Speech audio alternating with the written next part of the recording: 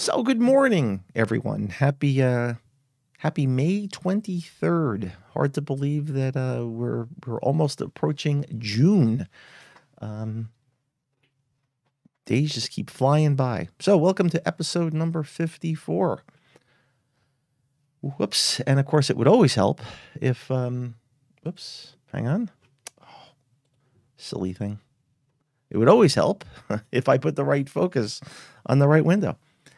So, for those that are new to the show, um, we do this every Sunday at 9 a.m. and um, it's it's really a continuation of work that I've done for a long time. Uh, more recently, I've been focusing on future of work, digital disruption, even though I've been doing disruption for a long time. Um, and this with COVID just seemed to be a natural extension of that work. So, um, you know, pretty much here we are. um, if, if you want and you're new to this, you can actually go over to my YouTube channel, which is youtube.com forward slash keep pace.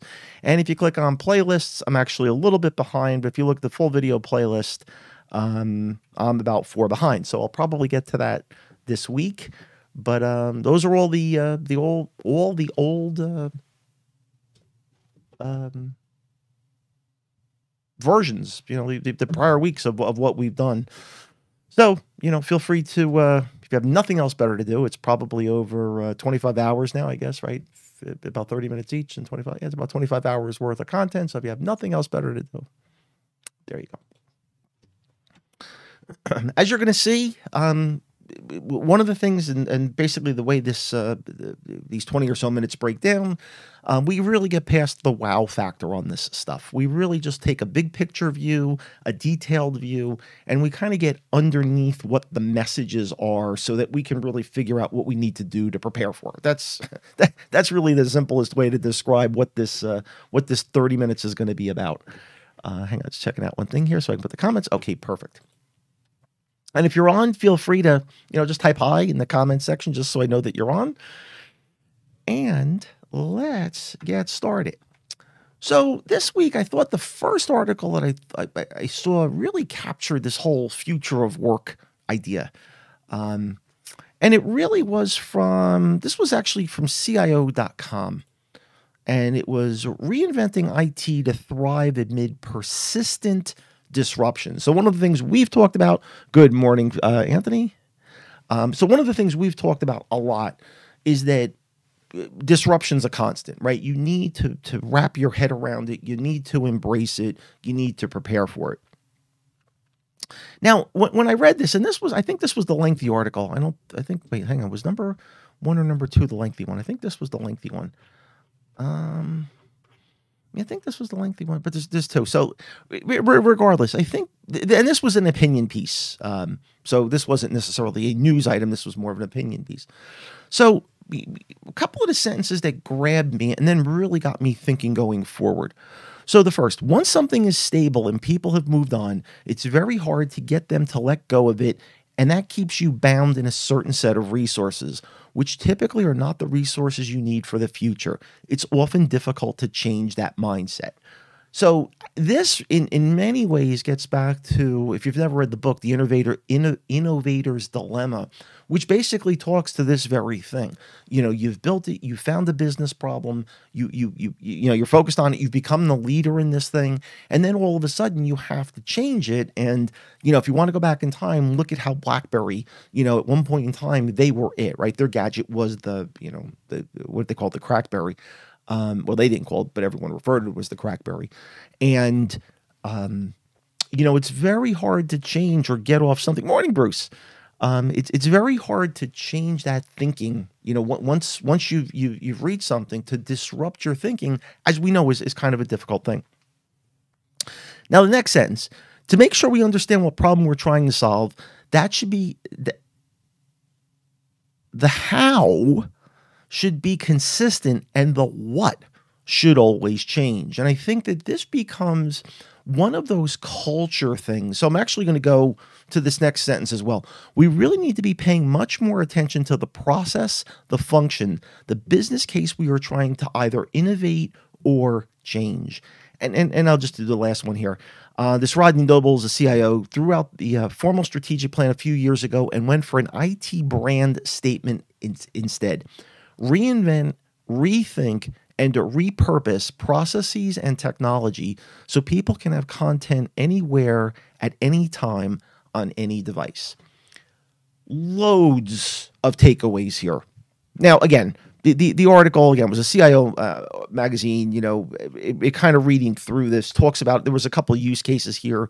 One was uh, L.A. County Public Library. Another was uh, the CIO of the New School, um, and, and, they gave you know different. Uh, this was at Wab- Waubonsee Community College. It, it, so there's a couple examples that you can you can dive deeper into. Here's kind of the takeaway for me. There's nothing here that again, for those that have been following, th- that I would consider to be the quote unquote net new.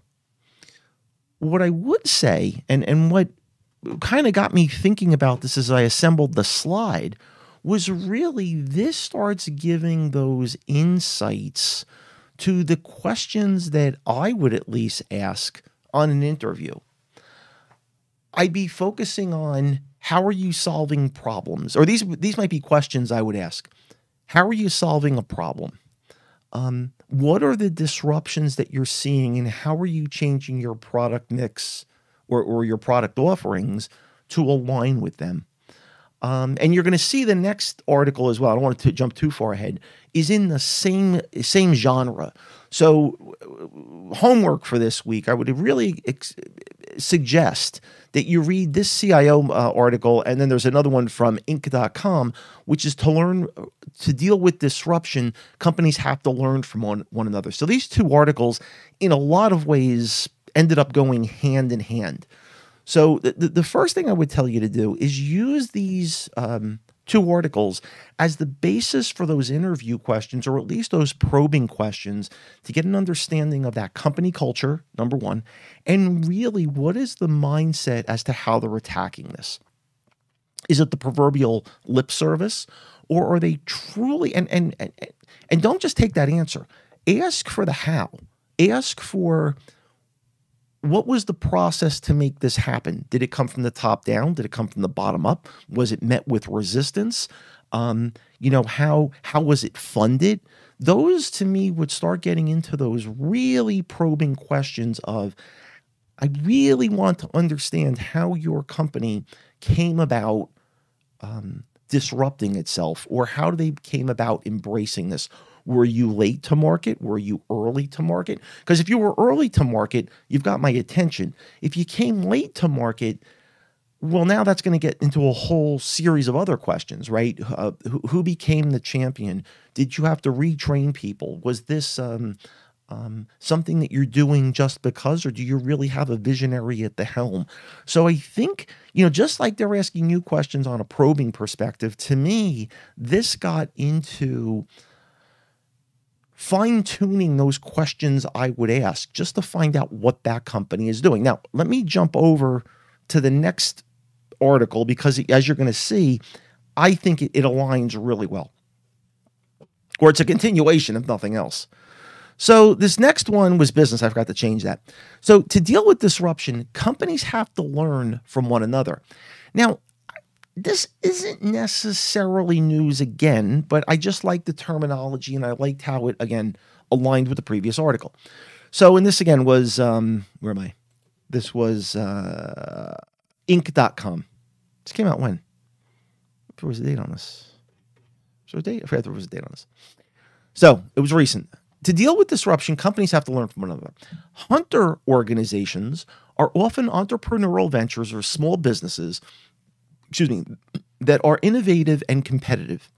They're adept at operating from a shared mission and vision, and their cultures promote speed and action.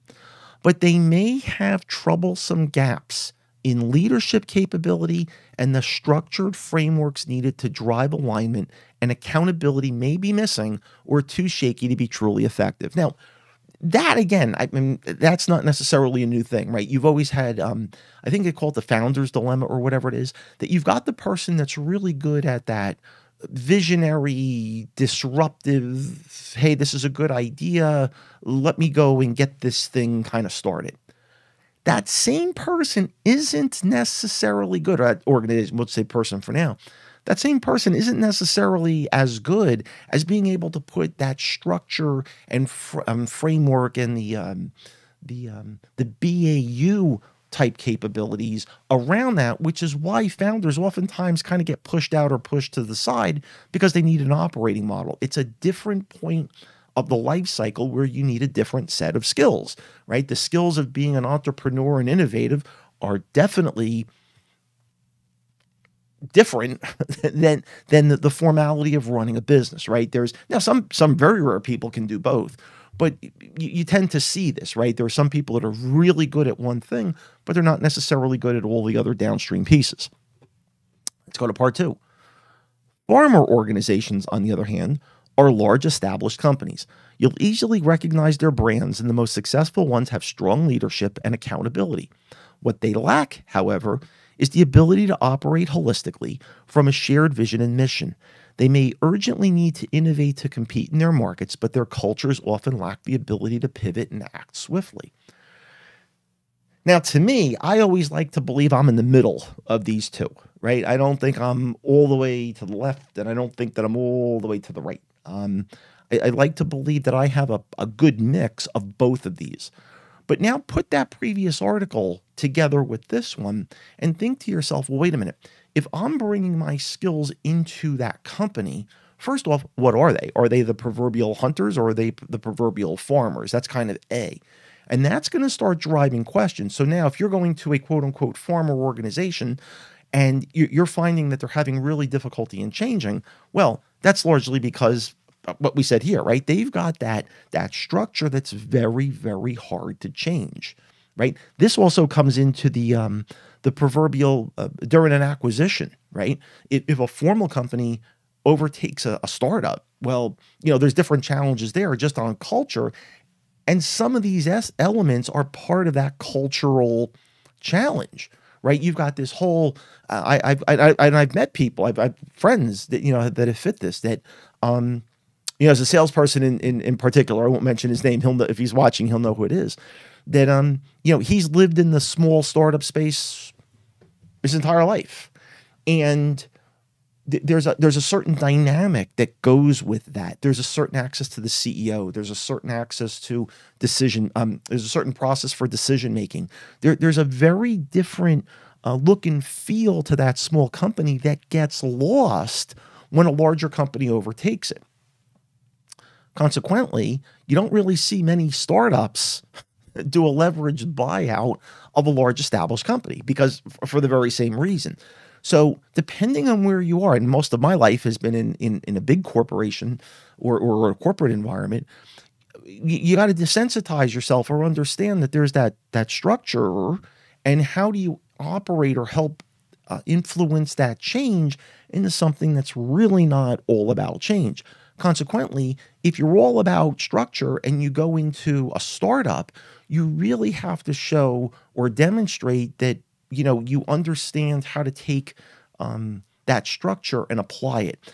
Um, one of the things I used to um, when it became intern time at work and they brought in the summer interns, one of the things I would tell the interns is, you know, the thing that you really want to get out of this rotation or this, uh, you know, this this experience is understand why a big company does some of the things that it does. So, for example, I'll use myself. Um, I had created an open source office, and in the creation of that open source office, I, I went from nothing. I mean, I, I, it was brandy dandy new to a full functioning operational office. There were many I's I needed to dot and T's I needed to cross so that the newness of open source aligned with those corporate expectations. And it was it was challenging right? There was education there was uh, uh, uh, policies and rules and it was it was a very interesting dynamic of trying to make those changes and integrate. The reality is that if i now went tomorrow so now i've got and, and again let's just use this as the um, the example. Let's just say that that process, and I'm, I'm making this up by the way, let's say that that process was 100 different steps or 100 different things. So the creation of an open source office, let's just say, consists of 100 different things. That's in a big company setting. If I now took myself out of that big company setting and I went now into a startup, there is absolutely no way that I'm going to be able to implement those 100 things for a lot of reasons. However, out of those 100, I would know the three, the five key things that that company still needs to do. So, again, the idea is why are you doing it? What are the true critical components to that? And that's that's kind of your your core, your foundation, your base of which you operate. Everything else potentially becomes that nice to have. So you know when when you're going through this the idea here between these hunter and farmers is understand that there's an intersection here right maybe it's very small but there's an intersection and understand how your skills kind of align with this and i think that then takes you off to the interview process where you then have a much better cultural conversation right so, culture one is the hunter organization, culture two is the farmer organization. But I think you're better prepared to have that conversation because you can better align your skills and your experience to the dynamics of that particular organization. So, those were really the for me the two really big takeaways. Good morning, Brian, out of these two articles. Now, the next two are these are this is the wow factor but let's really think about how these wow factors uh, can move uh, are going to be influential i think in the uh, in the months and years ahead. So this one is called project starline. Google's video chat makes it look like users are physically in the same room. Picture using video chat like Zoom, except instead of seeing the person you call on a screen, it feels as they are it feels as if they are physically sitting across from you. The technology combines research in machine learning. So now we're looking at some skills machine learning, spatial audio, computer vision, and real time compression, because obviously there's a bunch of stuff coming over the pipe to create the effect. It also uses a light field to display a system to create volume and depth without requiring the users wear special headsets or glasses. So you don't have to have those, you know, those VR type goggles. For now, Project Starline is only available in a handful of Google offices and requires special equipment. But this individual, Bavor, says it's Google's goal to make this technology more affordable and accessible. Now, again, I just tripped over this. This was May 19th. This was earlier in the week. Um, so it's a short article, and you know, there's a video if you wanted to watch it. I've not yet watched the video to see all the dynamics but you know th- this comes as, a, as a surprise but it doesn't come as a surprise. Um, I, I, think the idea is really intriguing. The, the, the real question is would they will they um, how do i say this? How much technology would an individual really need to be able to pull this off? So again i have not watched the video on this but this could be very interesting right? One of the things that we've talked about I know last year, I don't know if we talked about it this year, but you know, as I do this, I'm looking at my little camera. You know, I see the green screen behind me. You guys don't. I have just a, a bland back gray background. But uh, even on a Zoom chat, it's it's a very, you know, I can see a visual, I can see a video, but it doesn't have that um, that personal feel to it. Now, I'm guessing that if you had a, a, a um, you know, that image in front of you, that may, maybe this this tweaks it. Uh, maybe this changes it a little bit, but it'll it'll be interesting to see if this goes anywhere. Um, I'm I'm more curious about the technology components of this. That's I think is the biggest. Uh, you know, as I look at this, I'm like, boy, how how are you really going to uh, pull this off? Again, I did not get a chance to look at the video. Let me click this real quick here. Hold on. That's two minutes. Let me see something here. Let me see if they have a quick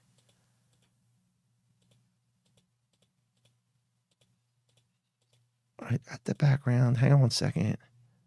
All right, so it's the whole imaging piece here. Oh, they're just explaining it. They really don't talk about.